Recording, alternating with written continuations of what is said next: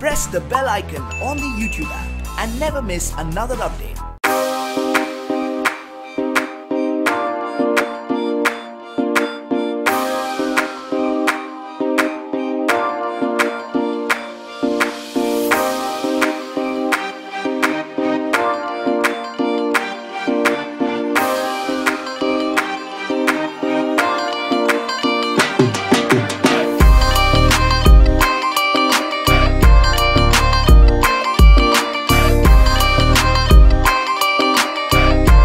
थले कमेंट करके ज़रूर दस्यो सबसक्राइब ज़रूर करो।